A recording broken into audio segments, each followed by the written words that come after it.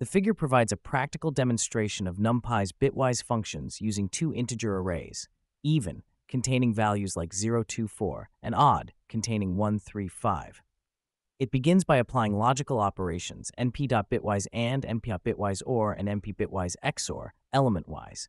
Because each corresponding pair, e.g. 2 and 3, differs only by the least significant bit, the AND operation preserves the even values, the OR operation results in the odd values, and XOR isolates the difference to produce an array comprised entirely of ones, 1, 1. The example then applies np.invert to the even array, which flips every bit to yield negative 2's complement values, e.g. 0 becomes 9 of 1. Finally, it illustrates bit shifting.